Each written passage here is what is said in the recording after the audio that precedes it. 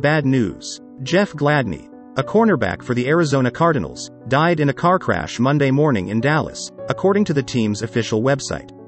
Gladney, 25, was among two people who died in the crash. The crash took place around 2:30 a.m. and involved two vehicles, according to a news release from the Dallas County Sheriff's Department.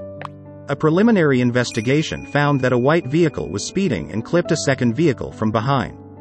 The white vehicle then lost control and hit a freeway pier beam, killing the man and woman inside, the release said. The second vehicle was also occupied by a man and woman, who were not injured. Minnesota Vikings cornerback Jeff Gladney is seen in action against Tennessee Titans wide receiver Corey Davis in the first quarter of an NFL game on Sunday, September 27, 2020, in Minneapolis. Gladney was entering the third season of his NFL career, after playing college football at Texas Christian University.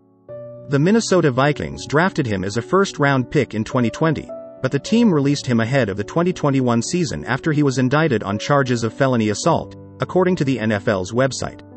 Gladney was found not guilty in the incident, and the Cardinals signed him to a two-year contract in March 2022. He had recently been training with the team during the NFL's organized team practices. The Vikings also released a statement, saying they were saddened by Gladney's death. Rest in peace, Jeff.